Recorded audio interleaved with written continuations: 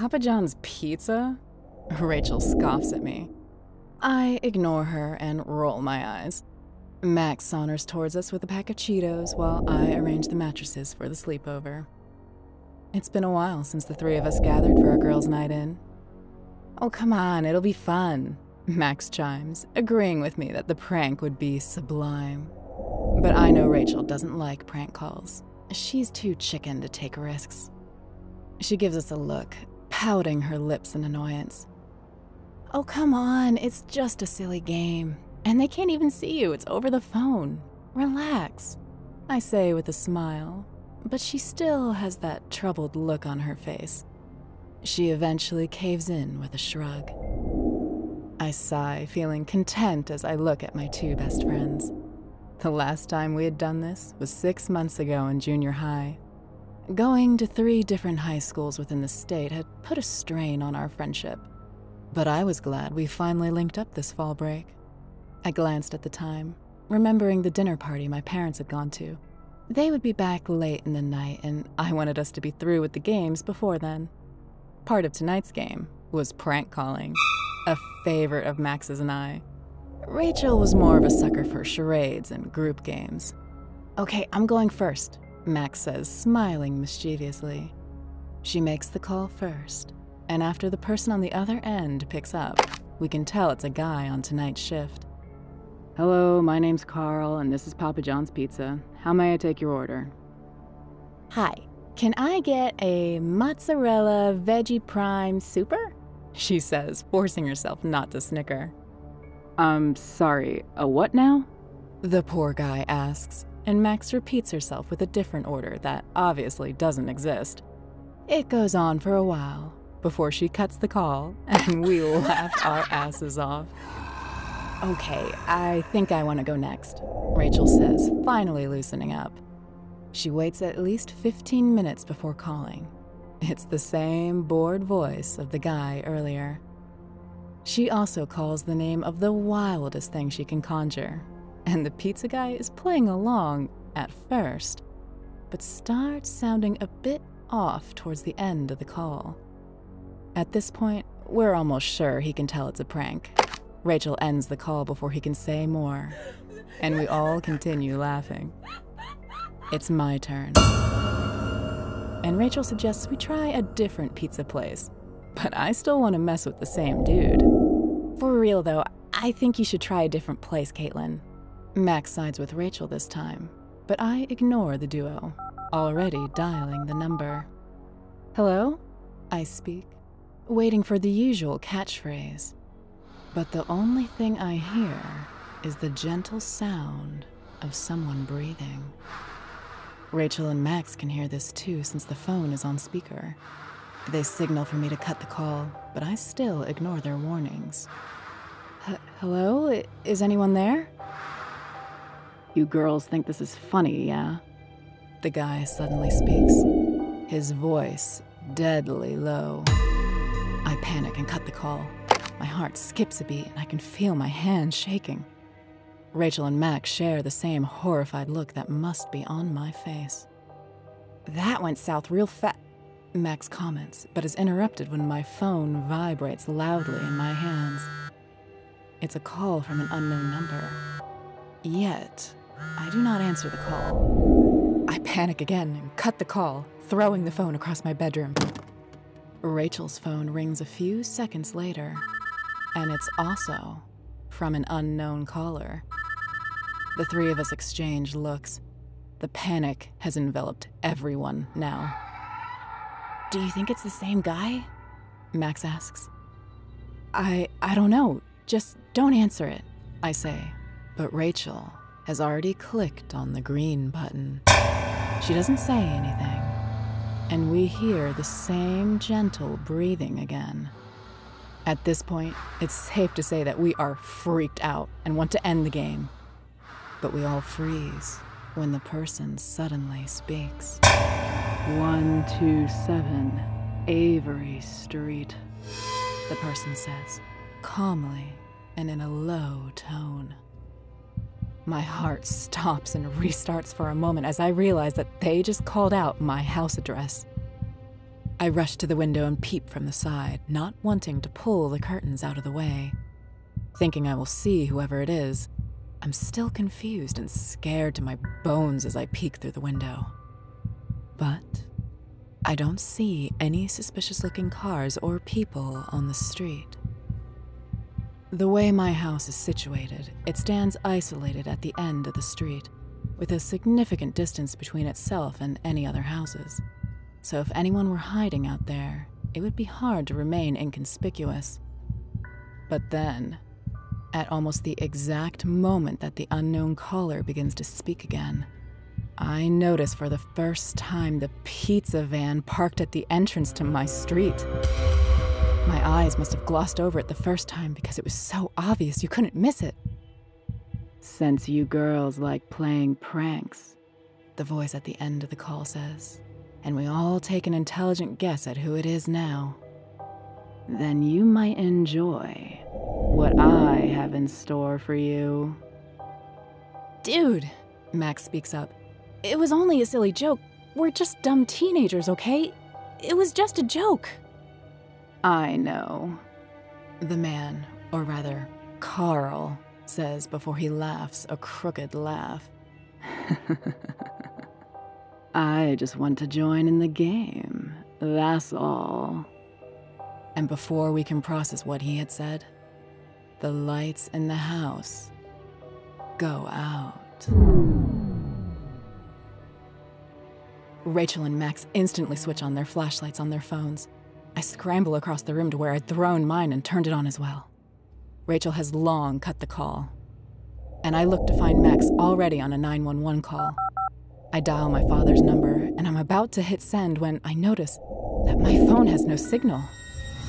There's suddenly no service. Max screams, and Rachel looks at us, showing us her screen. She has no bars on her phone as well. What the hell is going on? I scream now, pulling at my hair before rushing back to the window. I check to see if the weird pizza van is still there.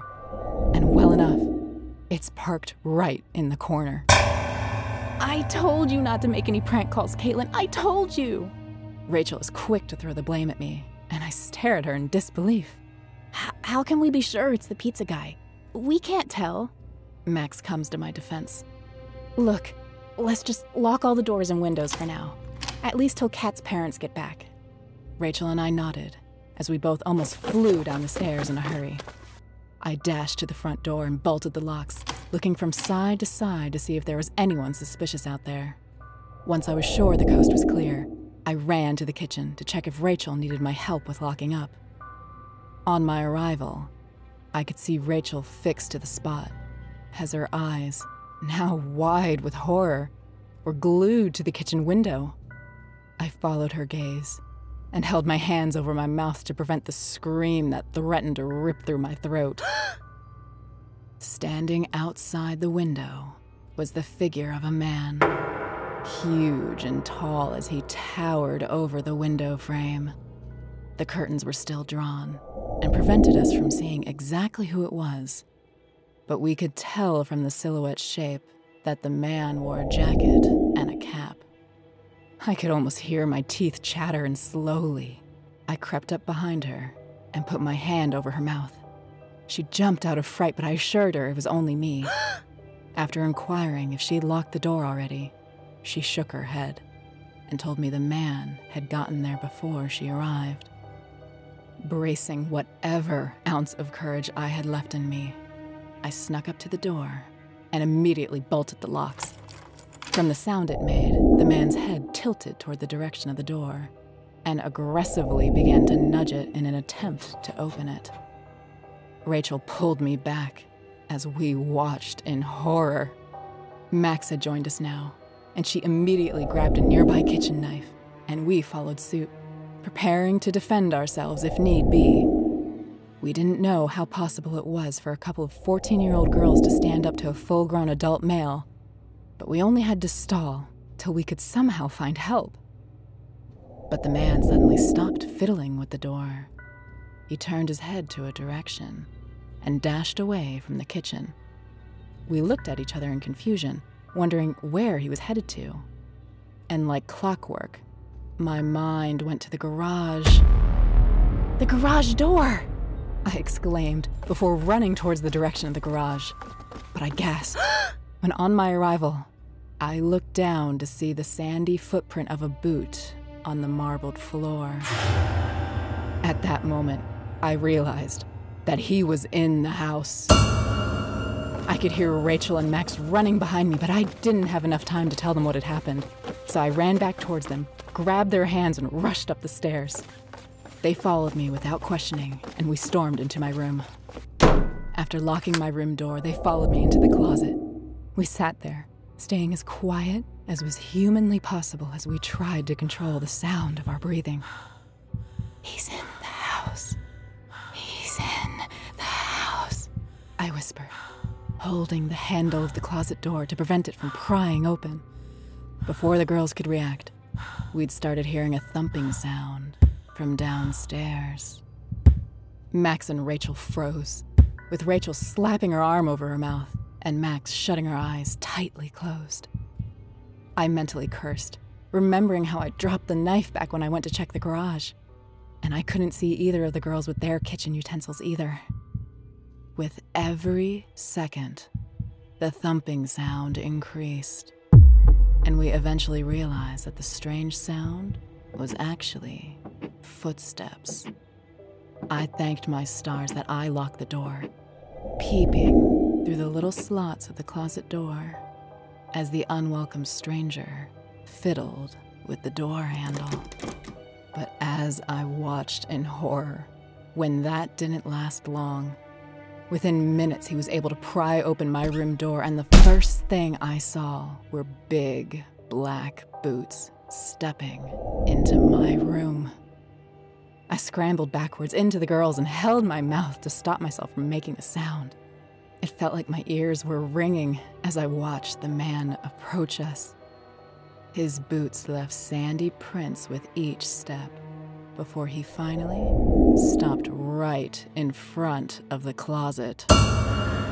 All we could hear were the sounds of deep, heaving breaths and the sick cackling sound of his laughter. He crouched, leaning closer to the closet and I swear I could almost feel my soul leave my body. You see, girls, he began, his voice sounding like something that had scraped the pavement. It was so raspy that my ears tingled with irritation. It's not good to prank call people these days. You never know who is listening. And I could see him grin through the crevice of the closet door. I shut my eyes as tight as I could while the three of us held onto each other in fear. Then, we heard the same thumping sound as the man slowly walked out of my room. Yet none of us had the strength to leave that closet. We were beyond terrified, shaking and chattering our teeth like someone had left us out on a December's night. A few minutes had passed before the light bulb in my room flickered back on. We could hear the notification sounds buzz on our phones across the room, but we stayed put in the closet, terrified beyond measure of stepping out of the enclosed space. We didn't know how many minutes had passed, or how long we had remained in the tiny closet. Then, we heard sounds coming from downstairs, which made us jump before hearing a familiar voice that sounded a lot like my mother's. Caitlin, honey, did you girls order pizza? There's a delivery man at the door. Subscribe today or beware.